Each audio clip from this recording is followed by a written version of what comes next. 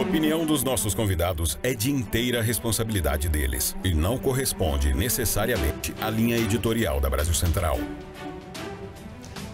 Olá para você que nos acompanha, muito obrigado pelo carinho da sua audiência.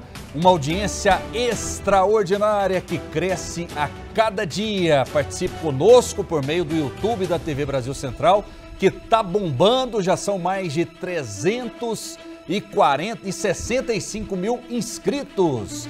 Dê o joinha, acione as notificações e tenha acesso a um conteúdo de muita qualidade. Nós somos um dos pouquíssimos veículos de comunicação do Brasil que reúne direita e esquerda para você em casa que é, que é suficientemente inteligente que tire as suas próprias conclusões. Você participa também por meio do nosso WhatsApp 6299 311 5327. São muitos assuntos hoje. A gente vai falar sobre a cota de gênero, né, que está causando muita polêmica. São prometidas algumas mudanças. E a delação de Mauro Cid, ela pode ser cancelada?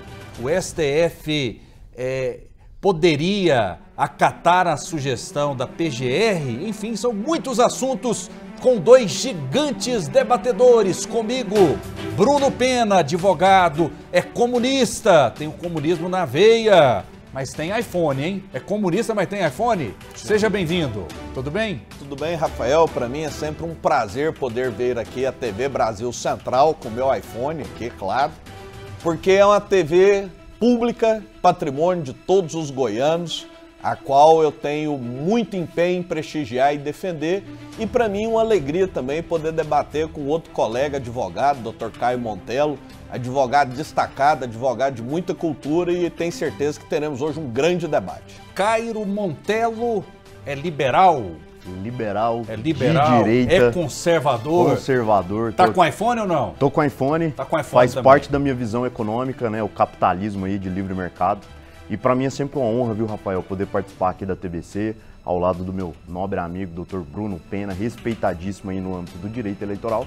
E quero aproveitar a oportunidade para elogiar a TBC é, por ser um canal, por ser uma TV estatal que é, fomenta a liberdade de expressão, trazendo aí participantes tanto da esquerda quanto da direita para discutirmos essa pauta que é muito, muito raro é, em outras emissoras aí tradicionais que no TBC Debate brigam as ideias e não as pessoas. Agora a gente vai falar da mini reforma eleitoral que propõe acabar com a punição para quem descumprir a cota de gênero. Vamos acompanhar.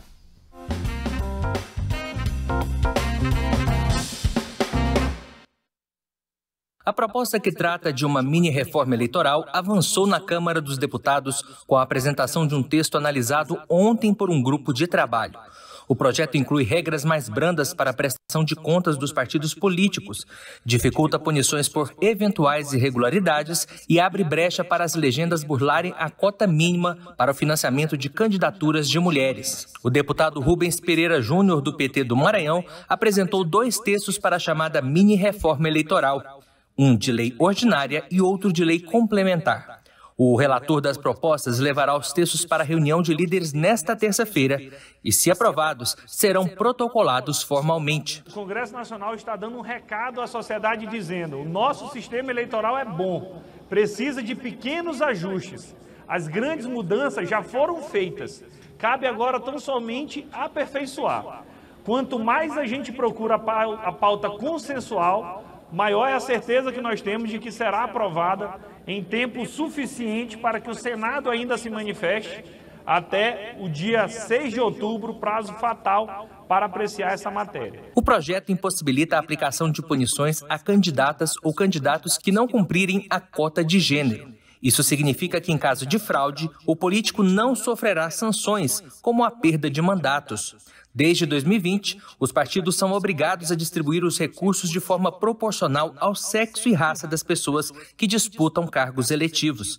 O descumprimento dessa determinação levou as siglas a encamparem uma mudança na Constituição para anistiar as agremiações, que deve ser votada em paralelo à mini-reforma eleitoral.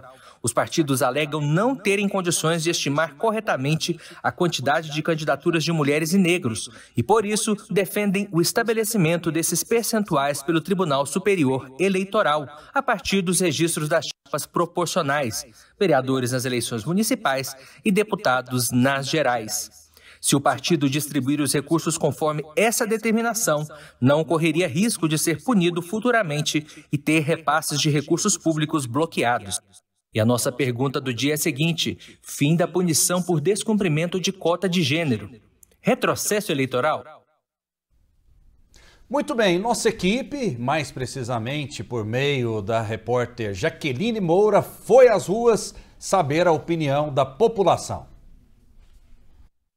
O deputado Rubens Pereira Júnior, do Partido dos Trabalhadores do Estado do Maranhão, apresentou um projeto que impossibilita a aplicação de punições a candidatos e candidatas que não cumprirem a cota de gênero dentro do partido. Ou seja, isso significa que, em caso de fraude, o político não sofrerá sanções, como, por exemplo, a perda do mandato. O TSE definiu em 2018 que os partidos devem reservar pelo menos 30% dos recursos do fundo para candidaturas femininas ou negras, ou seja, que incluem pretos e pardos, ou classificação adotada pelo IBGE. Fomos às ruas saber a opinião das pessoas sobre este assunto. Eu acho que deve continuar a punição, tem que continuar.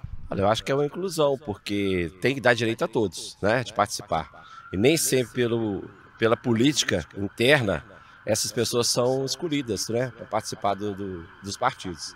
Ah, eu acho que é só candidatar e ganhar, né? Não é, a cota não vai adiantar nada se a pessoa não tiver voto, né? Eu acredito que tem que haver direitos iguais, né, não só para mulheres, como para negros também, inserir, né, toda a minoria dentro da sociedade. Manter a punição, com certeza. O ideal seria o partido, os partidos fazerem sem precisar punir. Se precisa punir, porque eles não estão fazendo certo. Mas eu acho que tem que ter as cotas, mas os partidos têm que ter consciência que não há necessidade de punição para isso. Eu acho que tem que ter, né? Eu acho que o direito é de todos. Vamos começar essa rodada com um grande advogado eleitoral, né? Bruno Pena, que vai falar sobre esse assunto. Qual a sua visão sobre cota de gênero? Olha, Rafael, eu acho que a legislação, como ela se encontra hoje, ela tem funcionado bem embora tenha havido ainda algumas discussões a respeito do entendimento. O que, que a lei estabelece hoje? Para poder registrar uma candidatura, antes é necessário registrar uma chapa. Então, o partido apresenta um documento chamado DRAP Documento de Regularidade de Atos Partidários. A lei estabelece que para registrar a chapa ela tem que haver um equilíbrio de gênero entre um mínimo de 30% de cada gênero, seja masculino ou feminino. Caso não se encontra esse equilíbrio da reserva de gênero, qual que é a consequência? Indeferimento de toda a chapa. Então, qual que é o momento da verificação desse equilíbrio de chapa, que é, uma, é um cálculo aritmético? Registro da chapa. A chapa registrou, transitou em julgado, ainda que todas as candidatas renunciem, desista, é, suma, tenha qualquer problema, a chapa tem que ser estabilizada. E aí analisa apenas as, exceções, que é o caso de fraude. E por que, que é assim? Porque senão seria muito fácil sabotagem de chapa. O que, que é sabotagem de chapa? Tem lá uma chapa que tem é, 10 candidatos, um exemplo. Tem lá quatro mulheres e seis homens. O candidato de outra chapa vai lá e oferece algum tipo de recompensa para duas candidatas depois do prazo de substituição, porque tem um prazo até 15 dias antes das eleições, desistir da candidatura. Aí cai a chapa toda. Eu entendo, Rafael, que não pode haver essa fragilidade do processo eleitoral. Eu acho que tem que ter um momento da verificação e depois analisar somente casos de fraude, que já tem alguns parâmetros na jurisprudência. Não havendo desequilíbrio depois do prazo, na minha opinião, não há o que se falar mais em descumprimento de cota de gênero. E começou-se essa discussão na mini reforma eleitoral justamente que começou a cassação de vários mandatos pelo Brasil afora. Um exemplo aqui em Goiânia já tem três que foram caçados, suplentes já assumiram, e outros processos ainda em andamento. Hoje mesmo teve uma decisão do Tribunal Superior Eleitoral de um caso do qual eu advogo, no qual a gente vai buscar a reforma dessa decisão, que vai contra toda a jurisprudência do TSE. Então eu acho que hoje a legislação como está, está acertada, precisando apenas alguns ajustes. Doutor Cairo Montelo, qual a sua ideia sobre cota de gênero, né? Olha, o senhor que se considera um negro? Sim. Se considera um negro. É Sim. importante essa questão das cotas? Não é importante? É inclusão? É discriminação? Qual a sua opinião? Olha, é, eu sigo um pouco da linha do Dr. Bruno Pena. Uh, eu sempre pauto pela, pela liberdade, pela liberdade de escolha. Antes da gente entrar no aspecto formal, que é aquilo que está ali, os procedimentos estabelecidos ali pela lei eleitoral, nós precisamos falar sobre o sufrágio universal que é algo a está num âmbito superior a qualquer tipo de formalidade, a qualquer tipo de procedimento. Então, o que, que a gente tem visto pelo Brasil afora? Vários, uh, várias pessoas com mandato, deputados, vereadores, perdendo seus cargos, perdendo seus mandatos, por uma questão procedimental, por exemplo, a questão da cota de gênero. E o sufrágio uh, universal, que é o que? O poder do voto, pessoas que foram eleitas pelo povo, foram colocadas pelo povo, isso está sendo relativizado, como se isso não fosse mais importante do que o procedimento. Isso é mais importante que o procedimento e isso deve ser sempre respeitado. Então, essa é a minha posição Congresso Nacional está fazendo essa alteração, essa discussão de maneira assertiva e o mais importante, né, isso precisa ser frisado no nosso país, está acontecendo dentro da casa que precisa de fato discutir isso, e não no âmbito do STF, não no âmbito do, do Tribunal Superior Eleitoral. Rafael, me permite só reforçar Sim. o argumento do Dr. Cairo, que eu concordo com ele, só para exemplificar. Por exemplo, em Goiânia, alegando descumprimento de cota de gênero, tem uma ação que se pretende caçar uma vereadora eleita aqui em Goiânia, que é a, vereadora é, Cleia, para poder colocar um homem no lugar. Olha que contrassenso. Pega-se uma questão procedimental, como o Dr. Cairo colocou, para caçar uma vereadora eleita e colocar um homem no lugar em defesa da cota de gênero. Olha que absurdo que pode acabar se levando determinados formalismos exagerados. Porque não é cota para as mulheres, é cota de gênero. De gênero. O que é diferente. Que é diferente. Qualquer um pode ser beneficiado ou prejudicado, isso é Exatamente, fato. fato. Muito bem, vamos mudar de assunto. Olha só, o preço do diesel sobe pela sétima semana consecutiva. O produto, que é o principal combustível usado em caminhões, chegou a R$ 6,05 na média dos postos brasileiros no período de 3 a 9 de setembro, aumento de 2 centavos em comparação à semana anterior. A expectativa do mercado é que os preços dos combustíveis se mantenham em alta até o final do ano. Isso porque Rússia e Arábia Saudita, duas das maiores potências globais do setor, determinaram na última terça-feira a manutenção dos cortes de produção de petróleo. Aí eu pergunto para vocês, vou começar com Cairo Montelo, né? Todo mundo em campanha diz o seguinte: o preço do combustível tem que sofrer redução. Mas até agora, efetivamente, talvez nenhum presidente da República conseguiu essa redução, a não ser em um período eleitoral, pouquinho antes das eleições, em que o Bolsonaro mudou a tributação. Essa questão dos combustíveis a gente tem que cruzar os braços e dizer o seguinte: o combustível ele é regulado e não tem jeito pelo mercado internacional, Cairo? Uh, Rafael, nós temos vários problemas relacionados aos combustíveis aqui no Brasil. Um dos problemas, o ex-presidente, presidente Jair Bolsonaro, uh, trouxe à tona aqui no Brasil, foi de fato, é, ele trouxe e conseguiu, que foi zerar as, as alíquotas de PIS COFINS sobre os combustíveis.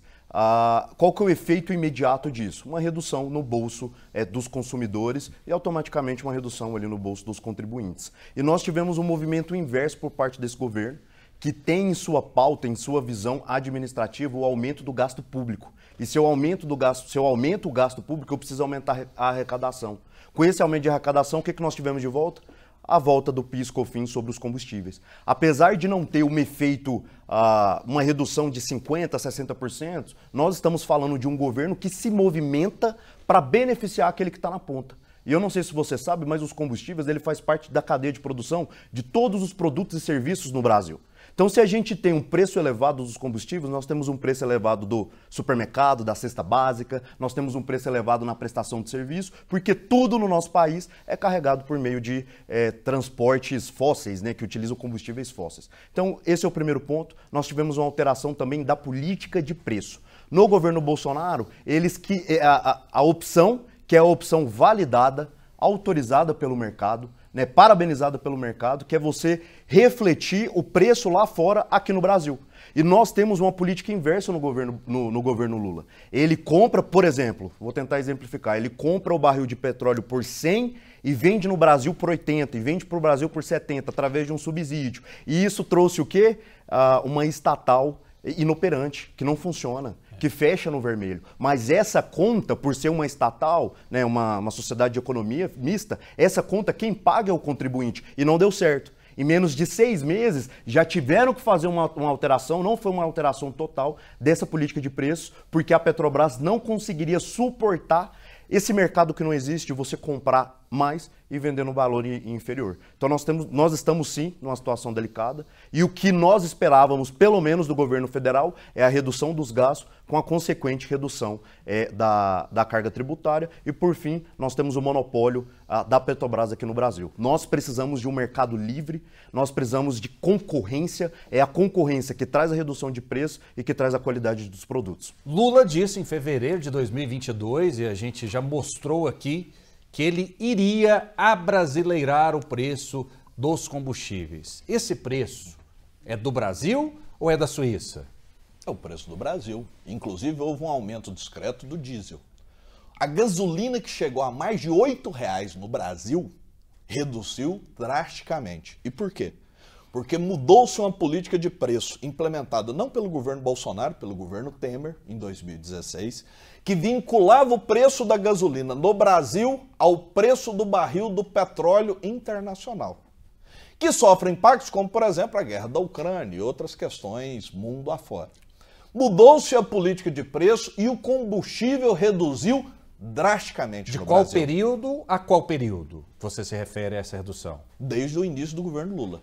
Houve uma redução drástica do Não. peso do petróleo, comparado inclusive com o período do governo Bolsonaro. Em se qual, é essa a em questão. qual período de 2022 que houve essa redução?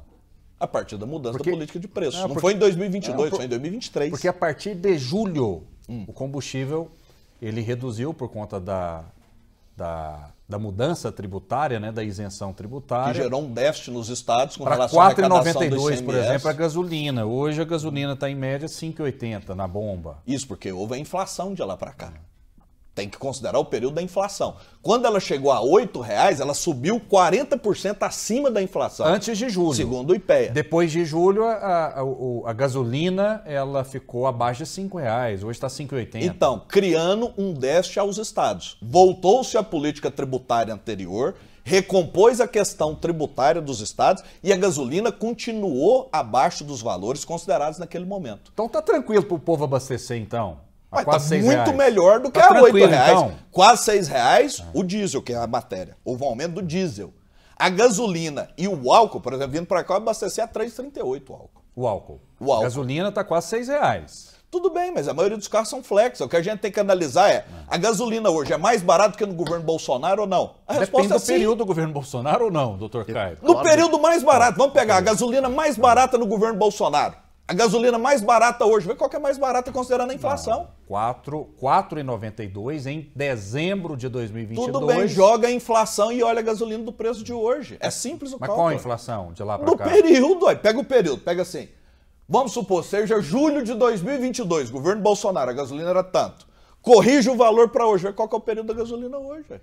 Não tem como negar que a gasolina baixou no período do governo Lula. Como abaixou, inclusive, a carne, que é o menor período desde 2018, Não, mas- anunciado na imprensa. Mas o efeito é totalmente diferente. Nós ah, saímos e, e as pessoas podem querer criticar essa análise, mas ela, ela é um fato. Nós saímos de uma pandemia, nós saímos eh, de uma guerra na Ucrânia, estamos saindo de uma guerra na Ucrânia. Nós tivemos um período de desabastecimento de qualquer tipo de mercadoria e produto, mundialmente falando, e isso tensiona o quê? O mercado inflacionário. A inflação vai lá para cima. Então é desonesto você falar que o aumento da carne, a- da carne é relacionado apenas a isso. Nós tivemos um período inflacionário de desabaste- desabastecimento, onde a procura é muito maior do que a oferta. Então isso faz os preços subirem. Mas e isso é normal. 2018 E inclusive, pandemia, e ué. inclusive é, isso foi muito bem administrado pelo nosso ex-ministro da Economia, que foi elogiado inclusive recebeu o prêmio internacional. Nós tivemos o melhor controle inflacionário do Brasil, ou do mundo. Nós tivemos ah, um, políticas adotadas pelo Banco Central que foram elogiadas no mundo inteiro, que foi o controle, inclusive, da Selic, que, que é criticado pela esquerda ah, de uma forma eh, totalmente ah, não inteligente, porque graças a essa política ah, da Selic ali pelo Banco Central, nós conseguimos controlar a infla- inflação e hoje nós estamos vendo frutos desse trabalho que foi feito eh, pelo ex-presidente, que é a consequente redução de preços de combustível, a consequente redução do preço da carne e, e de vários outros produtos aí, graças a uma política que foi adotada lá atrás. Só que o presidente falava que ele não podia fazer nada para baixar o preço do combustível. Qual o que ele presidente? dizia? Bolsonaro. Mas Bolsonaro zerou a alíquota de PIS e COFINS. Também ele falou que Como não era o ele presidente. fez, né? Ele falou que o presidente não podia mexer na política de preço. Na, na política de preço não pode. A forma como acontece hoje é Então, uma a forma. Petrobras não, não, não. mudou A forma, abaixou, não. velho. A forma como acontece hoje é uma forma camuflada.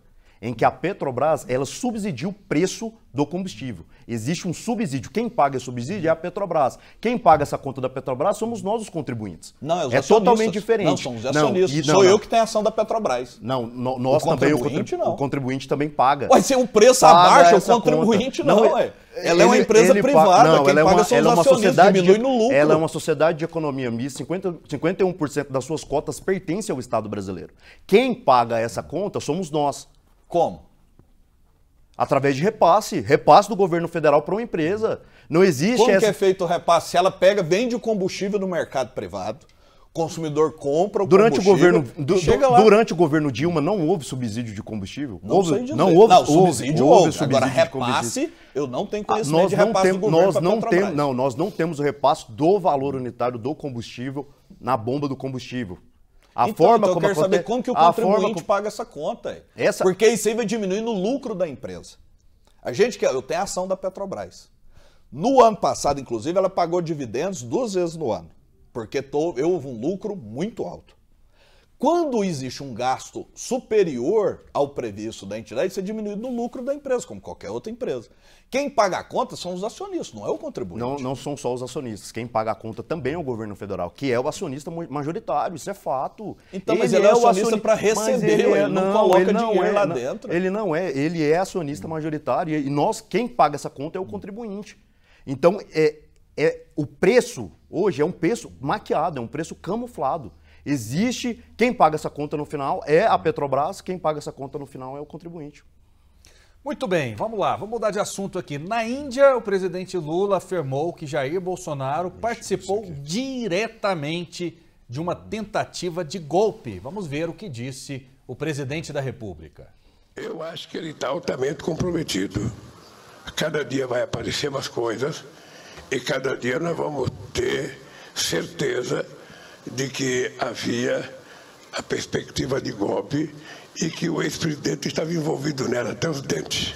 A única chance que ele tinha de não participar disso era quando ele estava preocupado em vender as joias. Sabe? Fora disso, ele é o responsável por parte das coisas ruins que aconteceram no nosso país.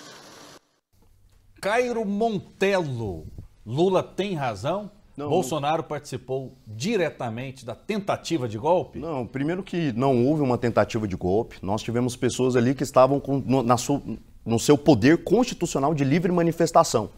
Ah, nós tivemos excessos pontuais e esses excessos eles precisam de fato serem investigados, porque através das imagens, através uh, dos fatos que já foram relatados, nós não sabemos de fato discernir quem era apoiadores do presidente Bolsonaro e quem eram marginais. Pessoas, às vezes, estou supondo, pessoas às vezes de esquerda, infiltrada ali para tentar denegrir a imagem do movimento. Né? O movimento de apoio ao presidente Bolsonaro, o movimento de. É, de crítica à forma como foram, como ocorreram as eleições. E outra, como que existe uma tentativa de golpe se não existe líder? Não existe nenhum líder. Como que existe uma tentativa de golpe se aquelas pessoas que estavam lá, elas não possuem capacidade de retirar o presidente do poder, quem possui o mandato, quem está na cadeira presidencial. O que existe de fato é uma narrativa sendo vinculada, utilizando vários aparatos aí é, do Congresso Nacional, vários aparatos aí uh, do Supremo Tribunal Federal, para ver se cola uma tentativa de crime no ex-presidente Bolsonaro. Bruno Pena, qual a sua é, opinião sobre a fala de Lula? Bolsonaro participou, teria participado diretamente de uma tentativa de golpe ou não? Eu não tenho como dizer nem que teve, nem que não teve. Eu não tenho nenhum elemento concreto, objetivo, que possa apontar uma participação direta do ex-presidente Jair Bolsonaro numa tentativa de golpe. Que houve tentativa de golpe? Houve. As pessoas não foram para a porta de quartel pedir intervenção militar para aperfeiçoar a democracia. Intervenção militar é quando o exército vai para as ruas colocar tanque de guerra para impedir a posse de um presidente que o povo escolheu nas urnas. Então, quando a pessoa vai para a porta de um quartel pedir intervenção militar já, ou quando vai ficar com o celular para cima pedindo uma intervenção de OVNI, ou quando vai pedir uma intervenção divina, é para dar um golpe para obter um resultado diferente do que foi obtido nas urnas. Agora, se houve participação direta ou indireta do ex-presidente Jair Messias Bolsonaro, é a polícia que vai dizer, está investigando, as autoridades competentes investigando. Não cabe a gente aqui dizer nem que houve, nem que não houve, enquanto não houver elementos de prova suficiente nesse sentido. Tinha infiltrado lá em Brasília no dia 8? Não sei dizer, é difícil dizer. Agora, eu acho pouco provável que uma pessoa infiltre num negócio desse, nessa quantidade de pessoas com ônibus que foram arregimentados no local de origem, com financiamento, pessoas que deram dinheiro para pegar essas pessoas e levarem para Brasília, entrar dentro do Supremo Tribunal Federal e causar vandalismo, quebrar obras de arte, defecar em órgãos públicos. Inclusive, essas pessoas que foram identificadas depois no âmbito do inquérito, pegou as redes sociais delas antigas, manifestando apoio ao presidente Jair Bolsonaro. Então, para falar que houve infiltrados, da mesma forma que eu não tenho condições de dizer se houve participação direta ou indireta do presidente, do ex-presidente da República, tem que haver algum elemento concreto. Como que deu esse infiltrado? Como que é a vida pregressa dessa pessoa, das redes sociais? Aí a gente vai saber se teve infiltrado o, o ou não. Rafael, o fato é, é que existe uma movimentação do governo federal em não esclarecer os acontecimentos do dia 8 de janeiro. E essa movimentação é um tanto quanto estranha. A gente vê o caso, por exemplo, ali do Ministério da, da Justiça, né, que só foram passadas duas imagens de duas câmeras e as demais, se eu não me engano, quase 300 foram apagadas.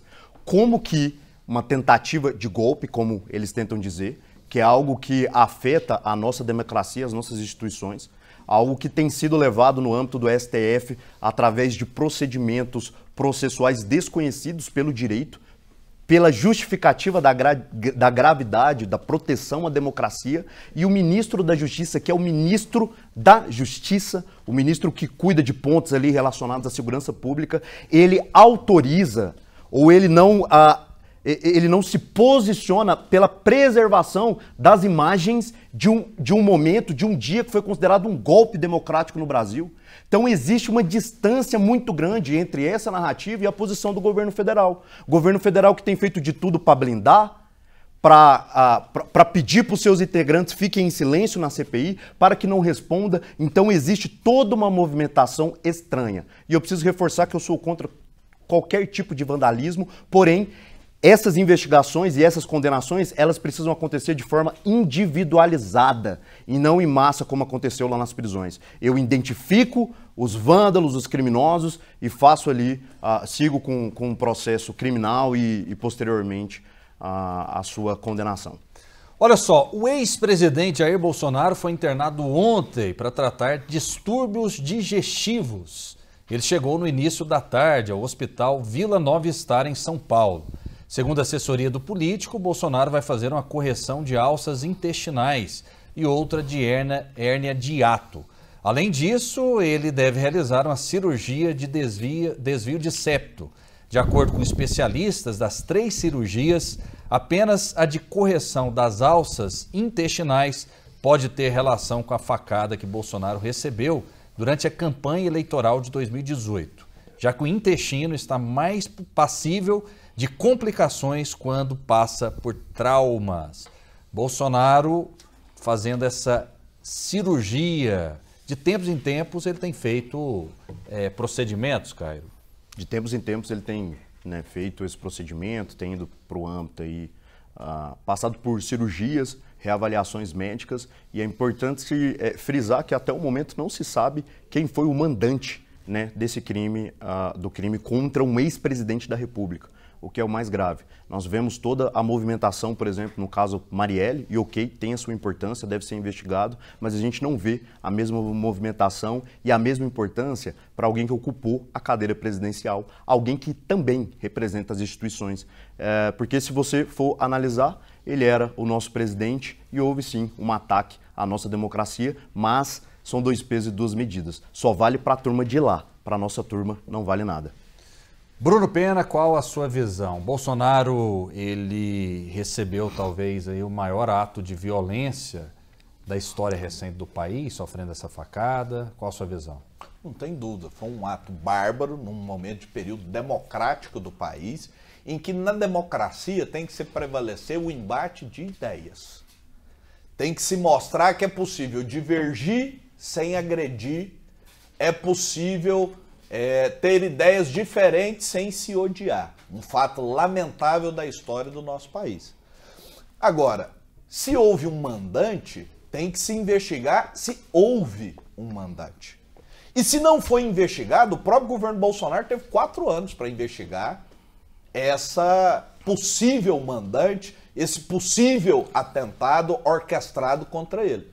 Se não foi investigado no período Bolsonaro, se houve prevaricação, houve inclusive dele. Eu acho que é um fato lamentável. Desejo melhoras ao ex-presidente Jair Bolsonaro nas cirurgias que irá fazer, embora eu divirja na integralidade de todas as manifestações que ele diga, não desejo mal a ele, desejo recuperação, melhoras tanto a ele quanto para a sua família. Não tem nada que o Bolsonaro já disse que você concorde? Nada. Rigorosamente nada. Nada. Nenhuma Até porque ele é palmeirense e eu sou corintiano. nenhuma ação positiva dele durante os quatro anos? Para não falar que não teve nenhuma, teve a tomada de três pinos que ele tirou, achei importante. Ah. O fim do horário de verão, eu achei importante e o Pix também. no governo. E hã? o Pix. O Pix que vinha já de outros governos, né, foi sancionado no período do governo dele. E também a questão da desoneração do whey protein, eu tô malhando agora, achei importante ter desonerado o whey protein. Quatro fatos importantes, então, você quatro, citou. Quatro. Que eu me lembro aqui. Teve mais de quatro? Ah, com certeza, teve um, vários, né? E até entrando nessa pauta aí da tributação, uh, ele trouxe a redução da carga tributária de inúmeros produtos, o que é raro no nosso país, né? O nosso país, a máquina estatal, ela sempre buscou mais e mais recursos e isso não fomenta o nosso mercado, a iniciativa privada, não gera empregos para o nosso país. É, desonerou o jet ski e o videogame também, né? É, desonerou também o, os combustíveis. Sim, foi importante também. Os combustíveis. Não, eu não ando de jet ski nem jogo videogame, mas tem alguém que deve ter gostado disso. Vamos lá então, olha só. O senador Sérgio Moro surge entre possíveis sucessores de Jair Bolsonaro, de acordo com a pesquisa divulgada na segunda-feira desta semana pelo jornal O Globo. Até o momento, existem três alternativas principais: os governadores de São Paulo e Minas, Tarcísio de Freitas e Romeu Zema, e a ex-primeira-dama Michele Bolsonaro. A pesquisa foi feita entre os dias 22 e 29 de agosto pelo Instituto da Democracia. O levantamento indica que 17% apontam Tarcísio como sucessor de Bolsonaro. Ele é seguido por Moro, que tem 12%, Michele com 11 e Zema com 6. Eu acrescentaria aqui Ronaldo Caiado, né, que não pode ser desprezado em hipótese alguma, e há uma ligação muito grande hoje em dia entre Bolsonaro e Caiado. Com certeza. É, bom, eu queria muito que o governador de São Paulo, Tarcísio, eu sou um fã de carteiria, mas é, não sem fundamentação. De fato, ele é um cara técnico, um executor. É, durante uh, o seu período na cadeira como ministro, ele foi um executor e trouxe um impacto gigantesco para a população brasileira, principalmente no âmbito da infraestrutura, que é um mal que nós sofremos há muitos anos nesse país. Contudo, na minha opinião, eu acho difícil o governador de São Paulo abandonar sua cadeira ali como governador à frente do principal estado, da grande máquina industrial e comercial que nós temos, para brigar pela cadeira presidencial. Em segundo lugar, nós temos o governador uh, de Minas Gerais, que eu acho também um bom candidato. Sérgio Moro é, tem um período muito lindo na história brasileira, que é o período ali das condenações no âmbito da Lava Jato, dos crimes ali de corrupção, porém ele se perdeu um pouco no âmbito político e eu acredito que como político ele deixa a calhar em diversos pontos e aspectos. Para um debate, Ronaldo Caiado é cascudo. E nós temos também o nosso governador Ronaldo Caiado, e o Ronaldo Caiado, sim, é uma figura é, que pode ter uma ascensão, se caso ele seja candidato, é uma figura central, tem um posicionamento alinhado à direita, tem um posicionamento importante aí na geração de emprego, na fomentação do mercado. E ele é alguém que possui toda uma estrutura, uma sólida estrutura política, e isso é importante principalmente para ocupar a cadeira presidencial, que é o quê? A articulação, o bom relacionamento, e ele é essa figura que consegue a, ah, entrar em vários nichos, em vários grupos, e com certeza isso será benéfico para o nosso país. Bruno Pena, sucess possíveis sucessores de Bolsonaro, são esses nomes mesmo? Eu acredito que sim. A pessoa principal que deve ser ouvida para sua sucessão é o próprio Bolsonaro. É, eu entendo que, como o Dr. Caio Montello colocou, é, dentre esses nomes, o que eu considero menos provável é o governador do estado de São Paulo. Porque tem tudo para se reeleger, o governo do estado de São Paulo tem um orçamento equiparado em alguns órgãos, até da União. Se a gente for olhar, por exemplo, assim, o orçamento da Secretaria de Educação de São Paulo e o orçamento, sei lá, do Ministério da Integração Nacional, talvez sejam equiparáveis. É, então seria uma decisão muito difícil a pessoa deixar de disputar uma eleição para tentar concorrer a uma presidência da República, como aconteceu, por exemplo, com Dória, em São Paulo, aconteceu com o atual governador do Rio Grande do Sul, que chegou a renunciar e depois voltou atrás e disputou de novo o governo. Dentre esses cenários, quem teria assim, uma condição mais confortável para disputar a presidência da República? É, eu não diria como sucessor do Bolsonaro, mas arregimentando esse eleitorado, seria o atual governador do estado de Goiás, Ronaldo Caiado, que já não pode se candidatar mais ao governo do, do estado de Goiás, estaria numa situação mais confortável para essa disputa. Muito bem, vamos registrar participações aqui do nosso público. São muitas, então tem que abrir na hora aqui. E aí o WhatsApp vai bombando. Enfim, a gente fica muito feliz com a audiência. O dia 7 de setembro serviu para mostrar ao povo que as eleições é, ele coloca aqui um ponto de interrogação em relação às eleições, gente não quer muito entrar nesse mérito, já é um assunto completamente superado, mas o nosso telespectador aqui, ele coloca o nome de Paulista, ele vê com estranheza o vazio que foi o 7 de setembro, Bruno Pena. O vazio aconteceu porque houve uma mobilização de pessoas com fique em casa. Tiveram pessoas que optaram a ficar em casa, tiveram pessoas que optaram por ir até as ruas acompanhar os desfiles cívicos militares do 7 de setembro.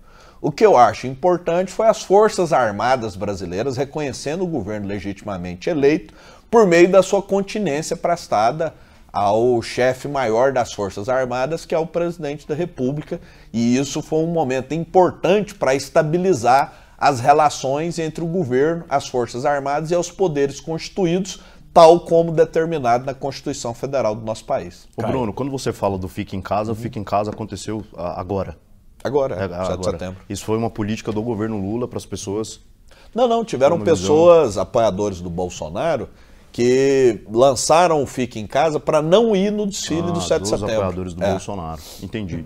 Bom, é, é eu preciso destacar né, o que foi mencionado aí pelo nosso telespectador, que esse governo não possui uma validação social. A gente não consegue validar, de fato, e eu não estou abrindo aqui nenhum tipo de questionamento sobre as urnas ou o período eleitoral. Nós tivemos um racha no país praticamente, eu vou arredondar ali 50-50, porque teve abstenções, pessoas que votaram em branco e etc. Nós tivemos praticamente um racha nesse país. Porém, nós conseguimos ver que um lado do país apoia totalmente o presidente, o ex-presidente Bolsonaro.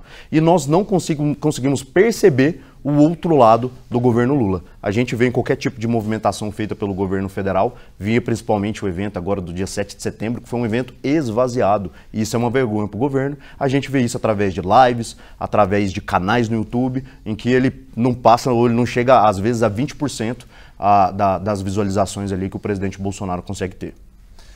Muito bem, olha esse assunto que inclusive é destaque no nosso YouTube, o YouTube da TV Brasil Central, que está bombando.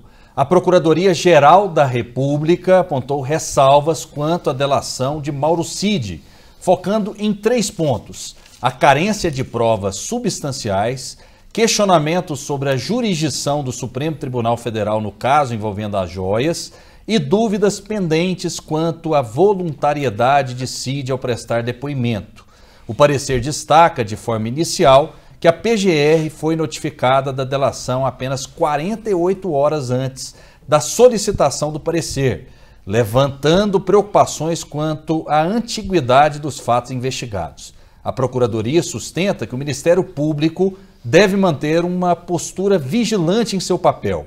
Em meio a uma análise crítica, a PGR pondera sobre a competência do STF no caso destacando a necessidade de definir o procurador natural para esta investigação. Pergunto o doutor Bruno Pena, né, que é muito antenado, assim como o doutor Cairo Montelo, a respeito dessa situação. E quando a gente fala é, juridicamente, a gente tem que ser muito técnico.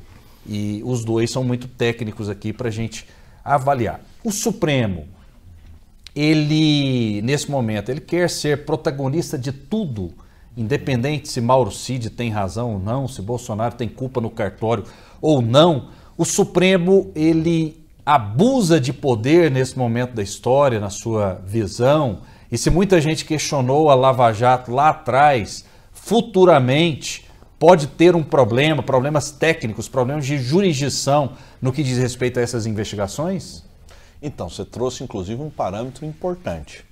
É, as mesmas pessoas que hoje criticam essa concentração de jurisdição no Supremo eram as mesmas pessoas que batiam palmas para a concentração de jurisdição no ex-juiz Sérgio Moro, que inclusive dava despacho até de férias em Lisboa, despachava em processo.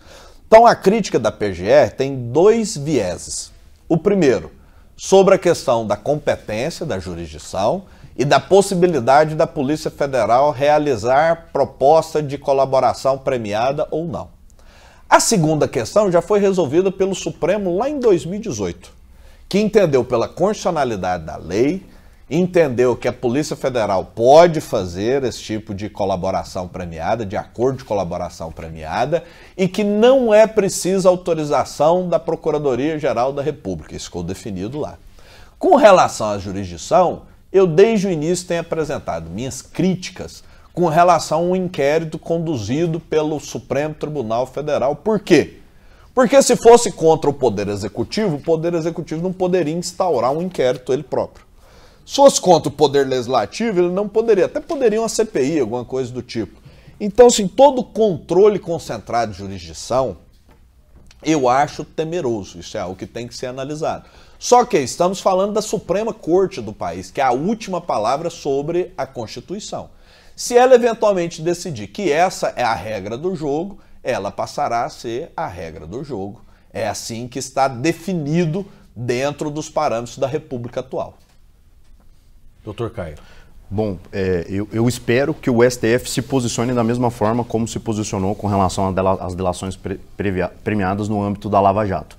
Nós tivemos ali aqui uma, recentemente uma reiteração do ministro Dias Toffoli de uma decisão do Lewandowski é, que anulou o acordo de leniência da, Orde, da, da Odebrecht uh, em virtude das prisões né, como se as prisões é, fosse uma espécie, tá, e, e é só para especificar, como se fosse uma espécie de uma pressão, como se fosse uma espécie de ditadura velada para que a pessoa pudesse ceder. E, essas, e, e esse procedimento, a forma como se deu no âmbito da Odebrecht, foi anulado pelos ministros do, do STF. O que, que nós podemos notar que é estranho no caso ah, do, do tenente-coronel Mauro Cid? Ah, a sua liberdade ela aconteceu meio que de forma simultânea à assinatura do acordo de, né, o acordo de delação premiada. Então, a gente pode pressupor que ele não estava preso porque existia um risco de um novo crime, ou existia um risco de obstrução processual, ou de obstrução no processo. A gente pode supor que ele estava preso, preso para fazer pressão para que ele cedesse. E isso é ilegal e isso é inconstitucional. A gente pode pegar essa situação e alocar em países aí onde não existe democracia, onde as pessoas são torturadas, são presas, para que comecem a confessar, para que comecem a puxar. É importante Mas mencionar. É um preso político, na sua opinião?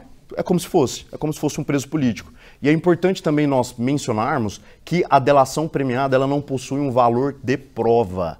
A delação premiada é como se fosse um norte e o que foi dito ali precisa ser validado por provas documentais. Tá? Isso é, é, extremamente importante. Então nós estamos diante dessa situação. Tem também a análise do doutor Bruno Pena ali, que 50% eu concordo com ele. Eu falei, nossa, estou até feliz que o doutor Bruno Pena tenha falado ali da, do, dos excessos do, da Suprema Corte né, em de fato conduzir o inquérito, uma investigação, mas eu discordo com ele com relação ao ponto de que se o Supremo está falando, está falando. Não, se a Constituição está falando, é o que está lá na Constituição e de fato o Supremo Tribunal Federal não possui essa atribuição, não possui essa competência.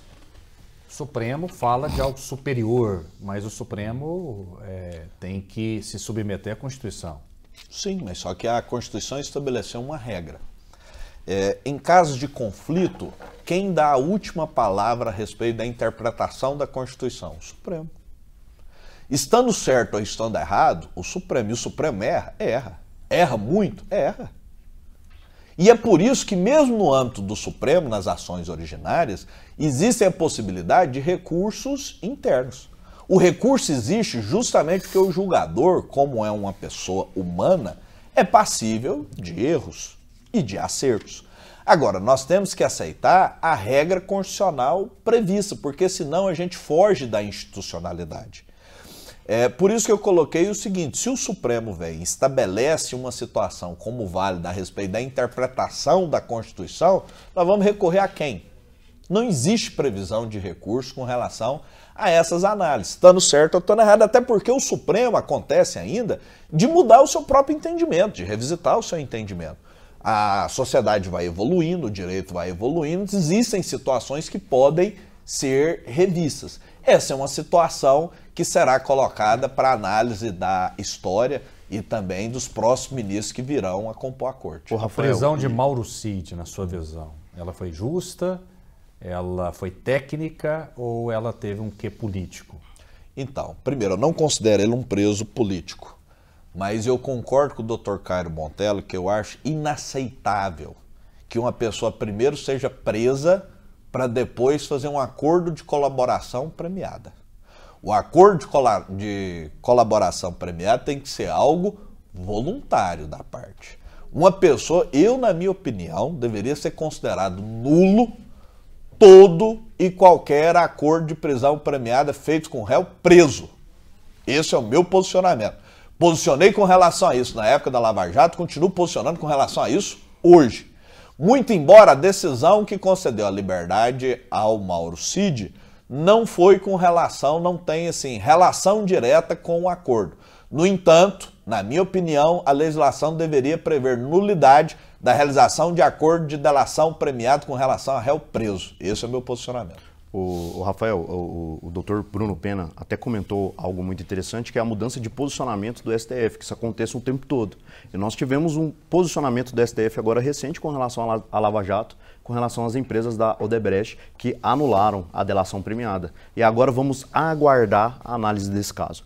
Infelizmente, E isso não é algo escrito, isso não está estampado em lugar nenhum, mas é uma interpretação velada que nós temos aí de algumas posições do STF. E quando a gente faz essa análise fria, a gente percebe que muitas vezes existe um lado. E essa subjetividade que existe na Constituição, da questão interpretativa, depende ali do STF, muitas vezes ela é usada intencionalmente para prejudicar um lado e beneficiar o outro. Então isso é muito sério. É. O Evandro diz o seguinte: as ações do Bolsonaro foram 90% positivas e ativou o patriotismo. E quanto ao golpe, foi da esquerda.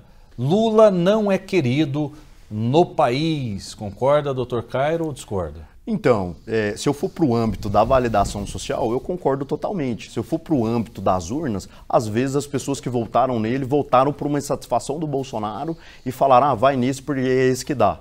Né? Mas a popularidade aí do Bolsonaro é uma popularidade é, inquestionável. A gente consegue ver de fato isso em qualquer lugar, seja no âmbito físico, nas ruas, seja no âmbito online. Doutor Bruno Pena. Só para eu entender o raciocínio do Evandro. Ele está querendo dizer que a esquerda ganhou a eleição e tentou um golpe contra a sua própria eleição? Só para eu entender o raciocínio não dele. Não sei o que, que ele chama de golpe da esquerda. Porque se for isso, não me parece um raciocínio lógico. Só se eu não entendi bem qual é o comentário dele.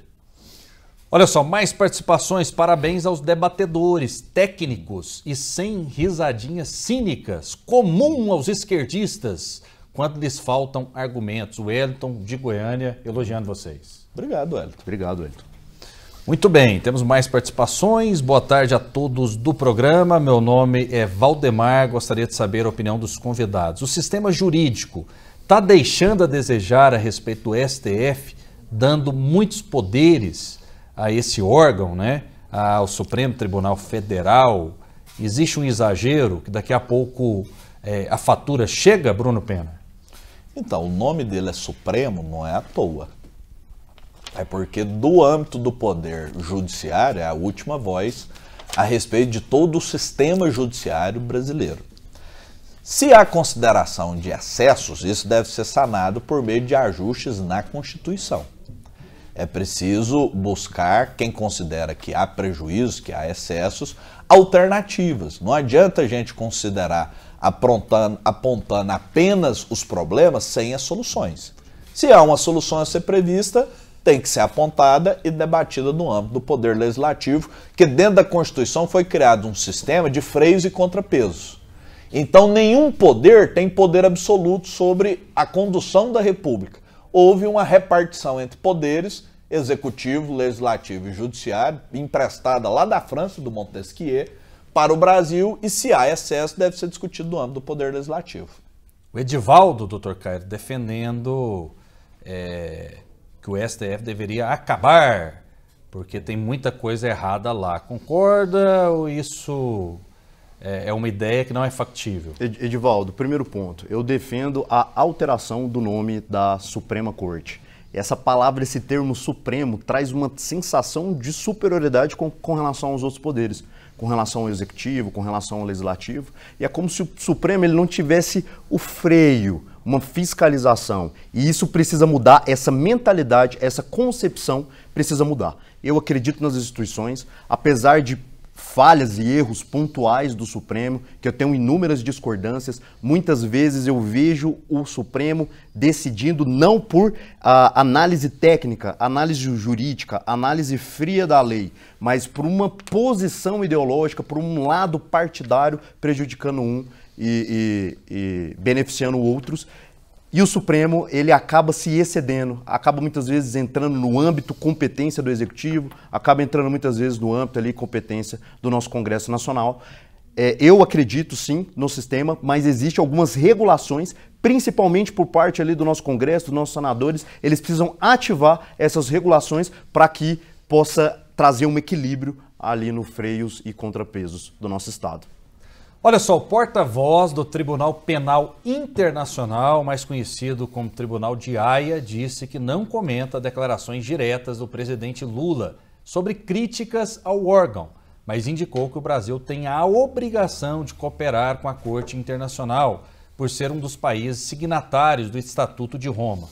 A polêmica ocorre porque o tribunal emitiu mandado de prisão para o presidente russo, Vladimir Putin, sob acusação de deportação forçada de crianças da Ucrânia. E Lula afirmou que não, pretenderia, não prenderia Putin se ele estivesse no Brasil. Depois, o mandatário brasileiro recuou e disse que isso seria uma decisão da justiça. Qual a visão de vocês sobre essa polêmica toda envolvendo Luiz Inácio Lula da Silva? Caberia até mesmo um pedido de impeachment, doutor Bruno Pena, ou não? Qual a sua visão? Não, até porque tem que ser analisada a seguinte situação. Primeiro, nem a Rússia nem a Ucrânia são signatários do Estatuto de Roma. E houve uma decisão de mandato de prisão do Tribunal de Haia contra o líder de um Estado soberano, que é a Rússia, do qual não é signatário. Esse é o primeiro ponto. Segundo ponto, o Brasil não tem nem condições de prender o presidente da maior potência militar aqui em solo brasileiro. Isso é uma bobagem. Pessoal acha que chega um líder de uma nação aqui, você vai lá e prende ele, igual o senhor vem aqui, você está preso, mete uma algema, leva embora. E o Brasil tem que analisar sobre as consequências econômicas de uma determinada atitude, de uma guerra, que não é do Brasil. Você quer ver? Eu vou citar um exemplo. Durante o governo Bolsonaro, o governo começou a fazer várias críticas à China, de cunho ideológico. O que, que a China fez? Reduziu a importação de soja do Brasil e passou a comprar dos Estados Unidos. Para mostrar que, do ponto de vista econômico, não tem viés ideológico. É a declaração de um líder de Estado tem consequências econômicas. Inclusive, tem um ditado chinês, Rafael, que diz o seguinte: não importa a cor do gato, desde que ele pegue o rato. Então, em questões econômicas, em questões de conflito entre países soberanos, não é o presidente da República que determina se uma pessoa vai ser, se um líder de Estado vai ser preso ou não. Então ele Essa... deveria ter ficado calado, então. Deveria. Eu acho que ele deveria ter ficado calado, inclusive. Deveria ter ficado calado. E é um infeliz, né? É, é, foi infeliz a fala do, do presidente Lula. E nós podemos aqui mencionar o efeito mediático. Porque imagina se essa fala fosse dita pelo presidente Bolsonaro. Qual teria sido a reação da mídia? Né? E simplesmente foi tratado como se fosse algo simplório. E foi uma fala infeliz, concordo com o Dr. Bruno Pena. É, o presidente não tem qualquer tipo de, de, relação, poder decisório ali na prisão de Putin. Ah, o que me deixa um pouco é, estremecido, existem várias relações é, que o Brasil precisa ter com países estrangeiros. Uma delas é a mais importante, a relação com, comercial, que de fato precisa ser avaliada, de fato precisa ser conservada. E nós temos também outras relações. E essas outras relações que podem ser evitadas, é perceptível que o presidente Lula não evita. De um país que é um país antidemocrático, que é num país que, é, que tem a sua soberania de forma questionada, que é, infringe constantemente diversos princípios dos direitos humanos. Então é, é uma lástima essa, é, esse posicionamento, essa aproximação é, fora do âmbito comercial que o presidente Lula tem com a Rússia. Aqui no WhatsApp o Lindomar diz que o Bolsonaro é passado. É passado o Bolsonaro? É passado, é, ele deveria ser, só que o presidente Lula, o governo federal, ele não consegue esquecer o Bolsonaro. Eles fazem de tudo, qualquer tipo de movimentação para tentar incriminá-lo. É passado?